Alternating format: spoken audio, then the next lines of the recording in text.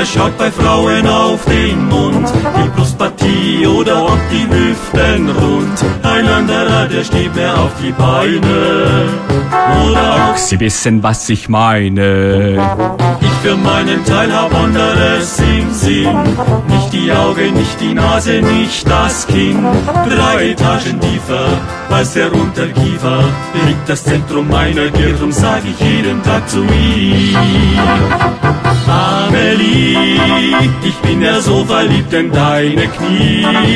Sie leuchten hell und weiß so wie ein Stern. Ich habe deine Knie so gern. Allermeisten liebe ich an dir die Gelenke deiner Beine. Denn so wie du, so hat sie keine. Für mich da ist ein wohlgeformtes Hundesknie, das absolute Zentrum weiblicher Anatomie. Eine schiefe Nase kann man operieren, beim Knie braucht man das gar nicht erst probieren.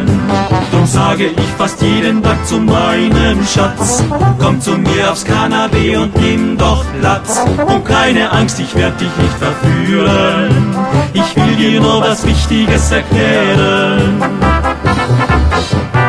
Amelie, ich bin ja so verliebt in deine Knie. Sie leuchten hell und weiß so wie ein Stern. Ich habe deine Knie so gern. Glaube mir, am allermeisten liebe ich an dir die Gelenke deiner Beine.